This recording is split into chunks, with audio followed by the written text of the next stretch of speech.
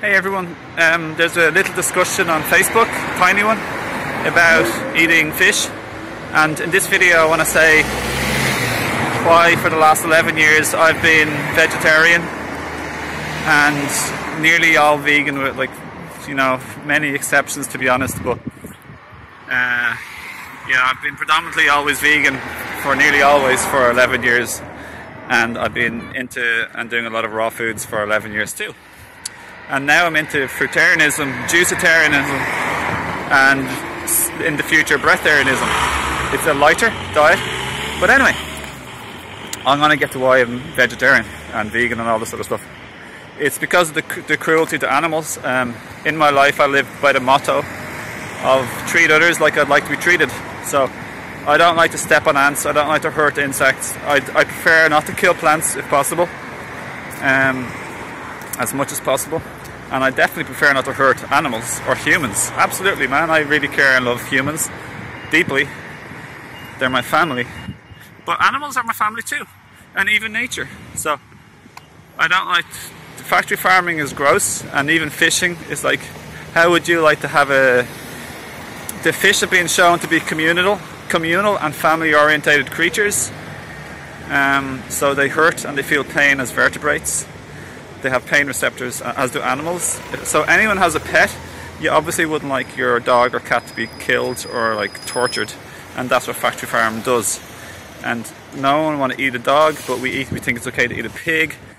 They're sad and they hurt and they feel pain and they get very sad when their children are taken away in the, in the dairy industry, which involves a lot of rape because that's where breast milk comes from, which I think is extremely gross. The idea of eating milk, breast milk, it's just ridiculous. So I think it's extremely gross and disgusting to be honest. I think the whole slave industry is despicable and putrid. It's horrendous and it's shameful. It's it's a terrible testament to the state of conscience of the human planet. But I love humans and I'm not I'm not angry or upset at the people. It's just because they don't know. Like like Jesus said, forgive them for they not know what they do. And about Jesus eating fish, I'm sure he did in his lifetime, probably, but he, he was mostly raw foodist, as the Essenes are and that was taken from the Bible, the Essene Gospel of Peace. It was stored in the Vatican and was smuggled out. So the the the the, the, the religion, the Vatican and the Christian religion have like taken away empowering information about fasting and diet, about raw foodism and and um, water fasting and dry fasting. Um, sadly, to disempower people. Um, so yeah, the dairy industry is disgusting, taking away the babies and then impregnating, and it's just like really gross. I don't even want to get into it. And I'm not here to judge anyone. Like you do what you want to do. I'm not here to change your mind or to fight with you or argue with you. And I can't. Anyway, I can't change you, and you can't change me. So um, I'm a very peaceful person. I don't fight or argue with almost anyone ever anymore, ever in real life or even on the internet. Um, countless empaths who are energy sensitive all say same, same things, more or less, very positive things about me. Um, the latest one two days ago said they felt I was very happy the first time they met me, very happy, or in the past, very happy, and sincere and genuine. They're the three words that she said what you and she said what you see is who you are like what you get is what you see. And I'm not putting up facades or fronts or fakes. This is just the way I am as the way I am in my videos. Um, so it's just basically cultural programming and conditioning and brainwashing everyone just to like put it straight. That's why we seem to think it's okay to like hurt, hunt, or murder certain animals and eat them, but it's weird to eat a dog, like because the Chinese eat dogs.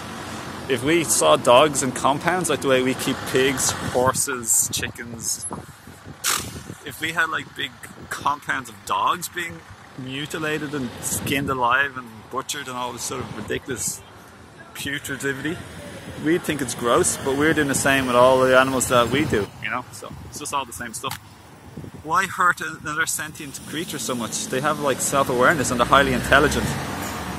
Sorry everyone's too nice here. I'll talk to you again in another video and lots of love and uh, don't get down about this. Don't get don't get like, you know, don't dwell on this. Just make a decision. do your best, little improvements or, or fast and gradual change, whatever you want. Usually slow is good for most people, but some people can do it quick or whatever. And uh, yeah, just just go gentle and loving on yourself and compassionate on yourself and other people. You can't force anyone. Just be the light and the change you want to be in the world and focus on your own personal healing. And for anyone who wants personal healing with me, this is my passion and purpose in the world. It's like raising the vibration of ourselves and the human consciousness, helping people heal from all of the, the pain and trauma that they've gone through in the past.